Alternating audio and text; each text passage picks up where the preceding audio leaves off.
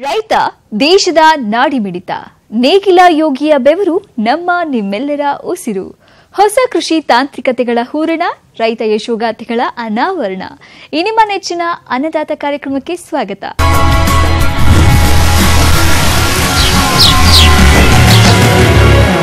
ಇಂದು ಸಾವಯವ ಕೃಷಿ, ನೈಸರ್ಗಿಕ ಕೃಷಿ ಅಂತ ಪದ್ಧತಿಗಳತ್ತ ಅನೇಕ ರೈತರು ಮುಖ ಮಾಡ್ತಾ ಇದ್ದಾರೆ. ಕೆಟ್ಟ ಮೇಲೆ ಬುದ್ಧಿ ಬಂತು ಅನ್ನೋ ಹಾಗೆ ಆದಷ್ಟು ಭೂಮಿಯ ಆರೋಗ್ಯವನ್ನ ಕಾಪಾಡಿಕೊಂಡು ವಿಷಮುಕ್ತ ಆಹಾರ ಉತ್ಪಾದನೆಯತ್ತ ತಮ್ಮ ಗಮನವನ್ನ ಹರಿಸ್ತಾ ಇದ್ದಾರೆ. ಬೆಳಗಾವಿ ಜಿಲ್ಲೆಯ ಯುವಕನೊಬ್ಬ ನೈಸರ್ಗಿಕ ಕೃಷಿಯಲ್ಲಿ ಹಲವಾರು ಬೆಳೆಗಳನ್ನ ಬೆಳೀತಾ ಇರೋದಷ್ಟೇ ಅಲ್ಲ, ತಾನೇ ಮಾರುಕಟ್ಟೆ ಸೃಷ್ಟಿಸಿಕೊಂಡು ಉತ್ತಮ ಲಾಭನ ಗಳಿಸ್ತಾ ಇದ್ದಾರೆ. ಈ ಕುರಿತ ಸ್ಪೆಷಲ್ ರಿಪೋರ್ಟ್ ಇಲ್ಲಿದೆ.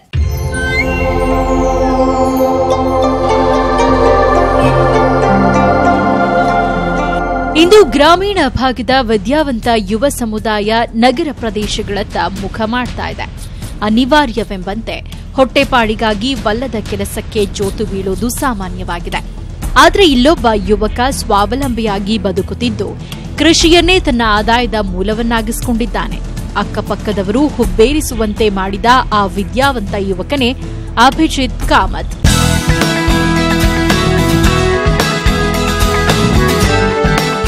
ಈತ ಮೂಲತಃ ಬೆಳಗಾವಿ ಜಿಲ್ಲೆ ಸವದತ್ತಿ ತಾಲೂಕು ಮುರಗೋಡು ಗ್ರಾಮದ ನಿವಾಸಿ. ಪಿತ್ರಾರ್ಜಿತವಾಗಿ ಬಂದಿರೋದು ಮೂವತ್ತು ಎಕರೆ ಜಮೀನು. ಇವರು ಸಹ ಜಮೀನನ್ನ ಬೇರೆಯವರಿಗೆ ಗುತ್ತಿಗೆ ಆಧಾರದ ಮೇಲೆ ಕೊಟ್ಟು ಹಾಯಾಗಿ ಬೆಳಗಾವಿಯಲ್ಲೊಂದು ಮನೆ ಮಾಡಿಕೊಂಡು ಇರಬಹುದಿತ್ತು. ಆದ್ರೆ ಈತ ಹಾಗೆ ಮಾಡಲಿಲ್ಲ. ಕೃಷಿ ಇವರನ್ನ ಕೈಬೀಸಿ ಕರೆದಿತ್ತು. ಭೂತಾಯಿ ಸೇವೆಗೆ ನಿಂತ ಅಭಿಜಿತ್ ಇಂದು ಅಪ್ಪಟ ಮಣ್ಣಿನ ಮಗನಾಗಿ ಹೊರಹೊಮ್ಮಿದ್ದಾರೆ.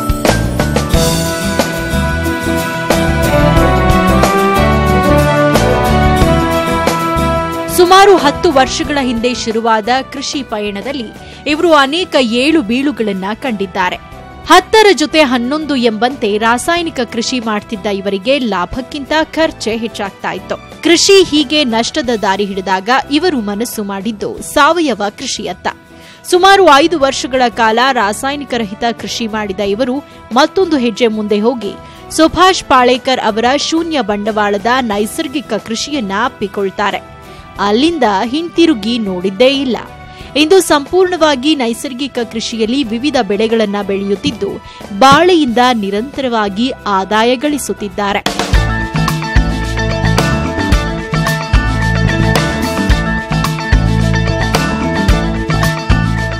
ನಮ್ಮಲ್ಲಿ ಮೇನ್ ನಮ್ಮ ಜಮೀನಲ್ಲಿರುವುದು ಬಾಳೆ ಕಬ್ಬು ಅರಿಶಿಣ ಅಲ್ಲ ಬೆಳ್ಳುಳ್ಳಿ ಈರುಳ್ಳಿ ಆಮೇಲೆ ತರಕಾರಿ ಬೆಳೆಗಳಾದ ಟೊಮೆಟೊ ಕ್ಯಾಬೇಜು ಫ್ಲವರ್ ಮೆಣಸಿನಕಾಯಿ ದೊಣ್ಣೆ ಮೆಣಸಿನಕಾಯಿ ಆಮೇಲೆ ಕೊತ್ತಂಬರಿ ಮೆಂತೆ ಪಾಲಕ್ ವಿವಿಧ ಒಂದು ನಲವತ್ತು ಬೆಳೆಗಳಿದೆ ರೀ ಯಾಕೆ ಮೊದಲೇನು ಮೊದಲನೇ ಮೊದಲೇ ನಾವು ಕೆಮಿಕಲ್ ಫಾರ್ಮಿಂಗ್ ಮಾಡ್ತಾ ಇದ್ವಿ. ಆಫ್ಟರ್ ಟೂ ತೌಸಂಡ್ ಸಿಕ್ಸ್ ಸೆವೆನ್ನಿಂದ ನಾವು ಆರ್ಗ್ಯಾನಿಕ್ ಫಾರ್ಮಿಂಗ್ ಮಾಡ್ತಾ ಇದ್ವಿ. ಅವಾಗ ಇಳುವರಿ ಕುಂಠಿತ ಆಗಿತ್ತು. ಮತ್ತು ಖರ್ಚು ಹೆಚ್ಚು ವೆಚ್ಚ ಹೆಚ್ಚಾಗ್ತಾಯಿತ್ತು ಹೆಚ್ಚಾಗ್ತಾ ಇತ್ತು. ಇವಾಗ ಟೂ ತೌಸಂಡ್ ಸೆವೆನ್ನಿಂದ ಹಿಡ್ಕೊಂಡು ಹದಿಮೂರರ ತನಕ ಆರ್ಗ್ಯಾನಿಕ್ ಫಾರ್ಮಿಂಗ್ ಮಾಡಿದ್ವಿ. ಆಮೇಲೆ ಒಂದು ಗ್ರೂಪ್ ಮಾಡಿದ್ವಿ. ಗ್ರೂಪ್ನಿಂದ ನಾವೆಲ್ಲರೂ ಕೂಡ ಮತ್ತೆ ಒಳ್ಳೆ ನ್ಯಾಚುರಲ್ ಫಾರ್ಮಿಂಗ್ ಮಾಡೋಣ ಅಂತೇಳಿ ವಿಚಾರ ಮಾಡಿದ್ವಿ. ಬಾಳೆ ಒಳಗೆ ಹೇಳಬೇಕಂದ್ರೆ ನಿಮಗೆ ನಮ್ಮದು ಬಾಳೆ ಸಾಲಿಂದ ಸಾಲಿಗೆ ಹನ್ನೆರಡು ಅಡಿ ಐದು ಸಸಿಯಿಂದ ಸಸಿಗೆ ಹತ್ತು ಅಡಿ. ಎರಡು ಸಾವಿರದ ಹದಿನಾಲ್ಕರಲ್ಲಿ ಪ್ಲಾಂಟೇಶನ್ ಮಾಡಿದ್ದು. ಹಚ್ಚಿದ ಒಂದು ವರ್ಷ ನಂತರ ಬಾಳೆ ಸ್ಟಾರ್ಟ್ ಆಯಿತು. ಒಂದು ಎಕರೆಗೆ ಸರಾಸರಿ ನಾಲ್ಕುನೂರು ಸಸಿಗಳು ಕೂತಿದ್ದಾವೆ ಇಲ್ಲಿ ಮೇನ್ ಹೇಳಬೇಕಂದ್ರೆ ಅತ್ಯಂತ ಕಡಿಮೆ ವೆಚ್ಚದಲ್ಲಿ ಬಾಳೆ ಹಚ್ಚಿದ್ದೀವಿ. ಒಂದು ಎಕರೆಗೆ ನಾಲ್ಕುನೂರು ಸಸಿ ಅಂತಂದರೆ ಹದಿನೈದು ರೂಪಾಯಿ ಹೇಳಿದ್ರು ನಿಮ್ಗೆ ಆರು ಸಾವಿರ ರೂಪಾಯಿ ಸಸಿ. ಅದ್ರವೆಲ್ಲ ಹಾಕ್ಬಿಟ್ಟು ಹದಿನೈದು ಸಾವಿರ ರೂಪಾಯಿ ಖರ್ಚಾಗುತ್ತೆ ರೀ. ಅದರಲ್ಲಿದ್ದಂಥ ಮಲ್ಟಿ ಕ್ರಾಪ್ ಸಿಸ್ಟಮ್ ಮಾಡಿದಾಗ ಒಂದು ಲಕ್ಷ ಇಪ್ಪತ್ತು ಸಾವಿರ ರೂಪಾಯಿದ್ದು ನಾವು ಉತ್ಪನ್ನ ಆ ಬಾಳೆಯಲ್ಲಿ ಒಂದು ವರ್ಷ ಮೊದಲೇ ವರ್ಷದಲ್ಲಿ ತೆಗೆದುಕೊಂಡಿದೆ ಇವಾಗ ಕಂಟಿನ್ಯೂ ಆಗಿ ಬಾಳೆ ನಾವು ಮರಿ ಕೊಯ್ಯಂಗಿಲ್ಲ. ಯಾಕಂದ್ರೆ ನಾವು ಸ್ವತಃ ಮಾರ್ಕೆಟಿಂಗ್ ಮಾಡ್ತಾ ಇದ್ದ ಕಾರಣಕ್ಕಾಗಿ ನಮಗೆ ದಿವಸ ಊರಲ್ಲಿ ಪ್ಲಸ್ ಬೆಳಗಾವಿ ಮಾರ್ಕೆಟ್ನಲ್ಲಿ ನಾವು ಐವತ್ತು ರೂಪಾಯಿ ಅರವತ್ತು ರೂಪಾಯಿ ಕೆ ಜಿ ಬಾಳೆ ಮಾರ್ತಾಯಿದ್ದೆ ರೈತರು ಇಲ್ಲಿ ಸಾಂಪ್ರದಾಯಿಕ ಪದ್ಧತಿಯಲ್ಲೇ ನೀರನ್ನ ಕೊಡ್ತಾ ಇದ್ದು, ಬೆಳೆಗೆ ಬೇಕಾಗುವ ಎಲ್ಲ ಪೋಷಕಾಂಶಗಳನ್ನ ತಾವೇ ತಯಾರಿಸುವ ಜೀವಾಮೃತ, ಪಂಚಗವ್ಯ ಇತ್ಯಾದಿ ದ್ರವರೂಪದ ಗೊಬ್ಬರಗಳನ್ನ ಪೂರೈಸುತ್ತಾರೆ ಕೀಟ ರೋಗಗಳ ನಿಯಂತ್ರಣಕ್ಕೂ ಸಸ್ಯಜನ್ಯ ಔಷಧಿಯನ್ನ ಸಿಂಪಡಣೆ ಮಾಡಲಾಗುತ್ತೆ. ಮಲ್ಚಿಂಗ್ ನೀರಿನ ಉಳಿತಾಯಕ್ಕೆ ಕಂಡುಕೊಂಡ ಮತ್ತೊಂದು ಉಪಾಯ. ಇಲ್ಲಿ ರೈತರು ಬಹುಬೆಳೆ ಪದ್ಧತಿಯನ್ನ ಅಳವಡಿಸಿಕೊಂಡಿರುವುದು ಇನ್ನೊಂದು ವಿಶೇಷ. ಬಾಳೆಗೆ ಮೇನ್ ಜೀವಾಮೃತ ಕೊಡ್ತಾ ಇದ್ದೀವಿ. ಆಮೇಲೆ ಗಾರ್ಬೇಜ್ ಎಂಜೈಮ್ ಅಂತ ಒಂದು ಸ್ವಂತ ಔಷಧ ಮಾಡಿದ್ದೀವಿ. ಆ ಔಷಧಿಯನ್ನು ಕೊಡ್ತೇವೆ ನೀರು ಬಗ್ಗೆ ಹೇಳ್ಬೇಕಾದ್ರೆ ಫ್ಲಡ್ ಇರಿಗೇಷನ್ ಅದು ಹರಿ ನೀರಾವರಿ ಪದ್ಧತಿನ ಇಟ್ಟಿದ್ದೀವಿ. ನೀರು ಆವಿಯಾಗಿ ಹೋಗಬಾರ್ದು ಅಂಥೇಳಿ ಬ ಅಲ್ಲೇ ಬಿದ್ದಂಥ ವೇಸ್ಟು ಕಸ ಕಡ್ಡಿ ಆ ಹೊಲದಲ್ಲಿ ಮುಚ್ಚಿ ಹಾಕಿಬಿಟ್ಟಿದ್ದೀವಿ. ಆ ಕಸ ಕಡ್ಡಿ ಮುಚ್ಚಿ ಹಾಕಿದ ಕಾರಣಕ್ಕಾಗಿ ನೀವು ಒಮ್ಮೆ ನೀರು ಕೊಟ್ಟರು twenty to twenty five days ನೀರು ಕೊಡೋ ಅವಶ್ಯಕತೆ ಇರುವುದಿಲ್ಲ. ಮತ್ತು ಮಳೆಗಾಲದಲ್ಲಿ ಆಲ್ಮೋಸ್ಟ್ ನಾಲ್ಕು ತಿಂಗಳು ನಾವು ನೀರು ಕೊಡೋದನ್ನೇ ಇಲ್ಲ ಬಾಳೆಗೆ. ಅತಿ ಕಡಿಮೆ ನೀರಿನಲ್ಲಿ ನಿರ್ವಹಣೆ.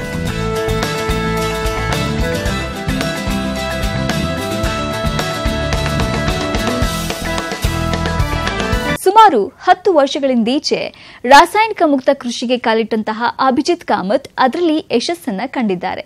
ಮಾರುಕಟ್ಟೆ ಸಮಸ್ಯೆ ಇವರನ್ನ ಎಂದೂ ಕಾಡಿಲ್ಲ. ತಮ್ಮ ಉತ್ಪನ್ನಗಳಿಗೆ ತಾವೇ ಮಾರುಕಟ್ಟೆ ಸೃಷ್ಟಿ ಮಾಡಿಕೊಂಡಿರೋದು ವಿಶೇಷ. ಅದ್ಹೇಗೆ ಅಂತ ಬನ್ನಿ ನೋಡೋಣ. ಮಾರುಕಟ್ಟೆ ಬಗ್ಗೆ ಹೇಳಬೇಕು ಅಂದ್ರೆ ಸಮಾನ ಮನಸ್ಕರಾದ ಕೃಷಿಯ ಬಗ್ಗೆ ಆಸಕ್ತಿ ಹೊಂದಿರುವಂತಹ ಮತ್ತೊಬ್ಬ ಸ್ನೇಹಿತ ಡಿಪ್ಲೊಮೊ ಇಂಜಿನಿಯರ್ ಸಂತೋಷ್ ಕಿತ್ತೂರ ಅವರೊಂದಿಗೆ ಸೇರಿ ಸ್ವತಃ ಮಾರುಕಟ್ಟೆಯನ್ನ ಸೃಷ್ಟಿಸಿಕೊಂಡಿದ್ದಾರೆ. ಇಂದು ಎಲ್ಲೆಡೆ ಸಾವಯವ ಆಹಾರ ಉತ್ಪನ್ನಗಳಿಗೆ ಬೇಡಿಕೆ ಹೆಚ್ಚಾಗ್ತಾ ಇರೋದ್ರಿಂದ ಮಾರುಕಟ್ಟೆಯ ಯಾವ ತೊಂದರೆಯೂ ಇವರಿಗೆ ಆಗಿಲ್ಲ.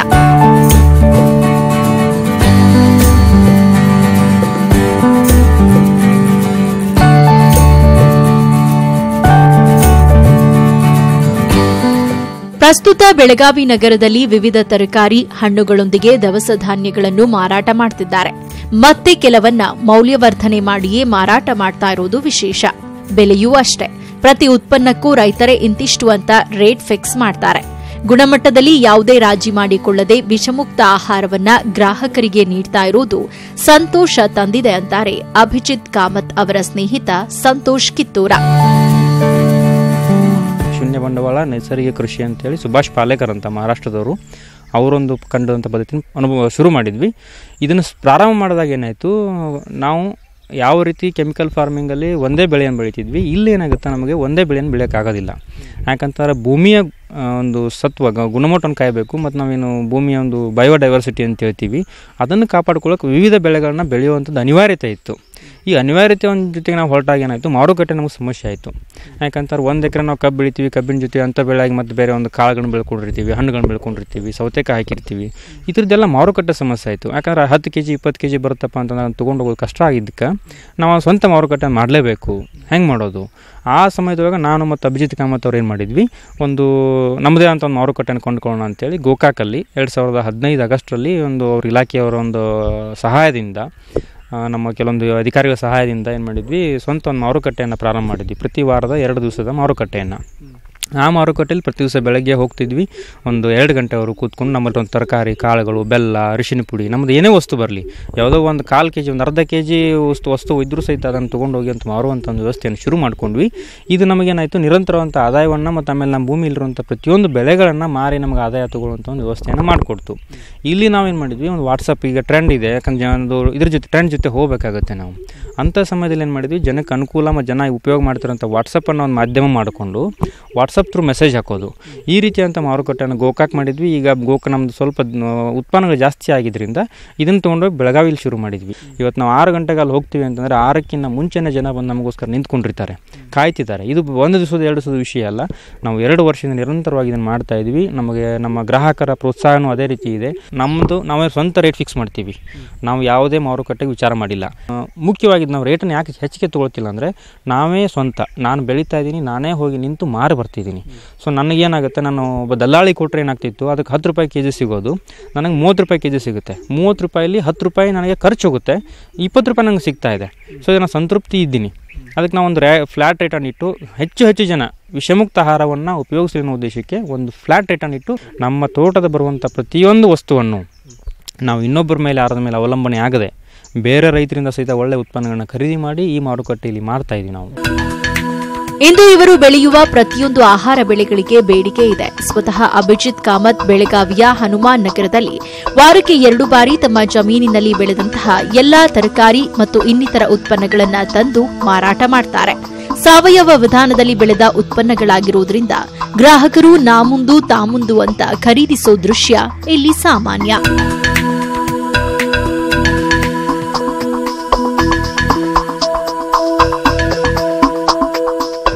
ಐದು ವರ್ಷ ಆಯ್ತು ರೀ ಆರ್ಗ್ಯಾನಿಕ್ ಯೂಸ್ ಮಾಡಕತ್ತೀವಿ ಇವ್ರ ಕಡೆನೇ ಯೂಸ್ ಮಾಡತ್ತೇವೆ ರೀ ನಾವು. ಪ್ರತಿ ಗುರುವಾರ ಮತ್ತು ರವಿವಾರ ಇವ್ರ ಕಡೆನೇ ತೊಗೊಂತಿದ್ದೀವಿ ರೀ ನಾವು. ನಾವು ಏನು ತೊಗೊಂಡಿದ್ದೇವೆ ಅದೆಲ್ಲ ನಮ್ಗೆ ಚಲೋನ ಆಗೈತೆ ರೀ ಇಲ್ಲೇ ರೀ ಬದ್ನೆಕಾಯಿ ರೀ, ಟೊಮ್ಯಾಟೊ ರೀ, ಕಲ್ಲಂಗಡಿ ಮಾತ್ರ ಭಾರಿ ಇದೆ ರೀ. ಕ್ಯಾಬೇಜ್ ಇದೆ ರೀ. ಇದು ನೀವು ತಿನ್ನಕ ತಿಂದಕ್ಕೆ ನಾವು ಏನೂ ಇಲ್ಲರಿ ನಮ್ಮ ಮನೆಯೊಳಗೆ.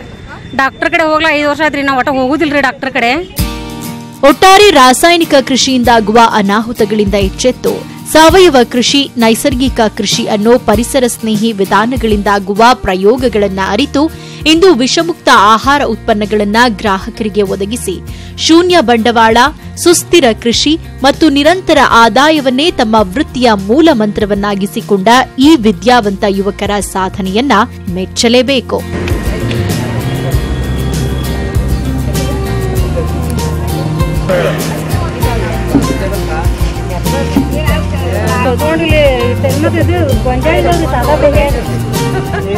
ಕ್ಯಾಮರಾಮನ್ ಪ್ರವೀಣ್ ಜೊತೆ ಚಂದ್ರಕಾಂತ್ ಸುಗಂಧಿ ನ್ಯೂಸ್ ಏಟೀನ್ ಕನ್ನಡ ಬೆಳಗಾವಿ.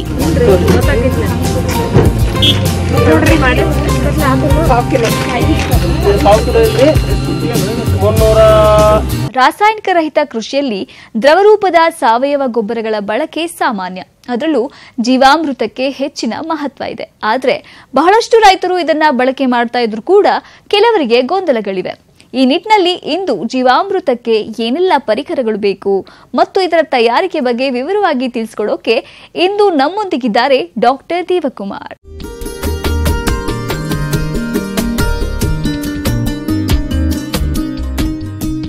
ಜೀವಾಮೃತ ಸಾವಯವ ಕೃಷಿಯಲ್ಲಿ ಹೆಚ್ಚು ಬಳಕೆಯಾಗ್ತಾ ಇರುವ ದ್ರವರೂಪದ ಗೊಬ್ಬರ ಇದು.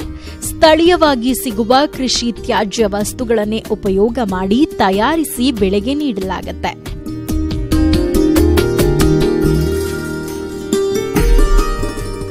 ಅತಿ ಕಡಿಮೆ ವೆಚ್ಚದಲ್ಲಿ ಇದನ್ನ ತಯಾರಿಸಿಕೊಳ್ಳಬಹುದಾಗಿದ್ದು ಬಳಕೆ ಕೂಡ ಸುಲಭ. ಈ ಒಂದು ಜೀವಾಮೃತ ಒಂದು ಬಹಳ ಮುಖ್ಯವಾದ ದ್ರವರೂಪದ ಸಾವಯವ ಪದಾರ್ಥ ಅಂದರೆ ತಪ್ಪಾಗಲಾರ್ದು.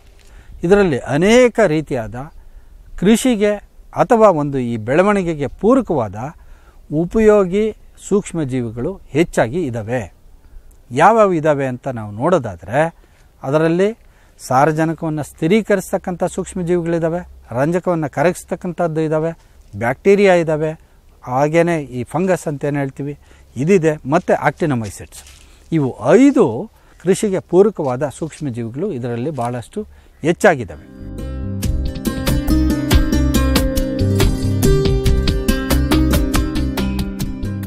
ಜೀವಾಮೃತವನ್ನು ಸಿದ್ಧಪಡಿಸಲು ಇನ್ನೂರು ಲೀಟರ್ ನೀರಿಗೆ ಹತ್ತು ಕೆಜಿ ಸಗಣಿ, ಹತ್ತು ಲೀಟರ್ ಗಂಜಲ, ಎರಡು ಕೆಜಿ ಬೆಲ್ಲ, ಎರಡು ಕೆಜಿ ದ್ವಿದಳ ಧಾನ್ಯದ ಹಿಟ್ಟು ಮತ್ತು ಒಂದರಿಂದ ಎರಡು ಹಿಡಿ ಮಣ್ಣು ಬೇಕಾಗುತ್ತೆ. ಇನ್ನು ಜೀವಾಮೃತ ತಯಾರಿಕೆ ಹೇಗೆ ಅಂತ ಹೇಳೋದಾದ್ರೆ, ಮೊದಲು ಸ್ವಲ್ಪ ಪ್ರಮಾಣದ ಸಗಣಿಗೆ ಗಂಜಲ ಹಾಕಿ ಚೆನ್ನಾಗಿ ಮಿಶ್ರಣ ಮಾಡಬೇಕು.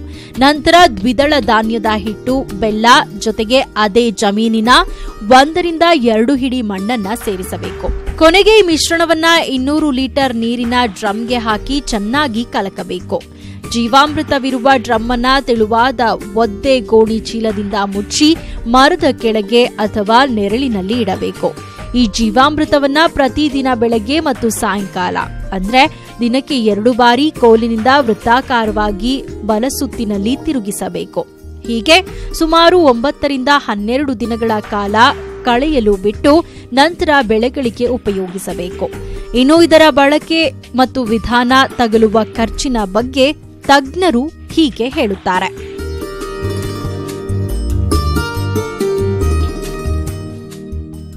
ಇದನ್ನು ಬಳಕೆ ಮಾಡೋದು ಯಾವಾಗ ಅನ್ನೋದನ್ನು ಹೇಳೋದಾದರೆ, ಸಾಮಾನ್ಯವಾಗಿ ಇದರ ಬಗ್ಗೆ ನಮ್ಮ ಅನೇಕ ರೈತರದಲ್ಲಿ ಗೊಂದಲ ಇದೆ ಅಂತ ಹೇಳಿದ್ರೆ ತಪ್ಪಾಗಲಾರ್ದು. ನಾವು ಮಾಡಿದಂಥ ಅನೇಕ ಪ್ರಯೋಗಗಳಿಂದ ಕಂಡುಬಂದಂಥ ಅಂಶ ಅಂದರೆ ಜೀವಾಮೃತವನ್ನು ಸಿದ್ಧಪಡಿಸಿದ ಒಂಬತ್ತರಿಂದ ಹನ್ನೆರಡು ದಿವಸ.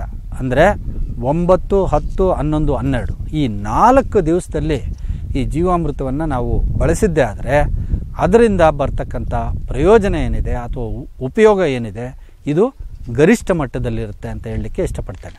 ಯಾಕೆ ಅಂತಂದರೆ ಆ ನಾಲ್ಕು ದಿನಗಳಲ್ಲಿ ಇದರಲ್ಲಿರ್ತಕ್ಕಂಥ ಸೂಕ್ಷ್ಮಜೀವಿಗಳ ಪ್ರಮಾಣ ಗರಿಷ್ಠ ಮಟ್ಟದಲ್ಲಿರುತ್ತೆ. ನಂತರ ಇದನ್ನು ಬಳಕೆ ಮಾಡ್ತಕ್ಕಂಥ ವಿಧಾನ. ಸಾಮಾನ್ಯವಾಗಿ ಬಾಳೆಕರ್ ಅವರು ಹೇಳ್ತಕ್ಕಂಥ ರೀತಿ ಏನಂತಂದರೆ, ಪ್ರತಿ ಬೆಳೆಗೆ ಸುಮಾರು ಇನ್ನೂರು ಲೀಟರ್ ದ್ರಾವಣವನ್ನು ತಿಂಗಳಿಗೆ ಒಮ್ಮೆ ಕೊಡಿ ಅಂತ ಹೇಳ್ತಾರೆ.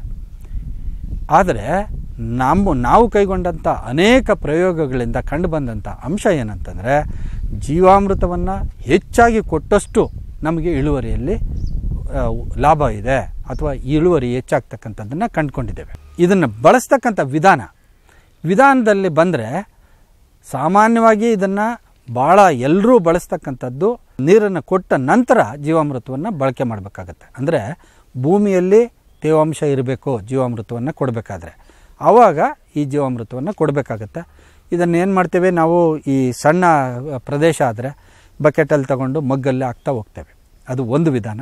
ಎರಡನೇದು ಈ ನೀರಾವರಿ ಕಾಲುವೆ ಏನಿದೆ, ನೀರು ಕಾಲುವೆ. ನೀರು ಕಾವಲೆ ಕಾಲುವೆಯಲ್ಲಿ ನಾವು ಹೊಂದ್ಕೊಳ್ಳೋ ಥರ ನಲ್ಲಿಯಲ್ಲಿ ಬಿಡ್ತಾ ಹೋದರೆ ಹೋಗುತ್ತೆ. ಆದರೆ ತಮಗೆಲ್ರಿಗೂ ಈಗ ಗೊತ್ತಿದೆ, ನೀರಿನ ಅಭಾವವನ್ನು ನಾವು ಭಾಳಷ್ಟು ನೋಡ್ತಾ ಇದ್ದೇವೆ. ಹಾಗಾಗಿ ಡ್ರಿಪ್ ಅಥವಾ ಸ್ಪ್ರಿಂಕ್ಲರ್ ಮೂಲಕನೂ ಇದನ್ನು ಕೊಡ್ಬೋದು.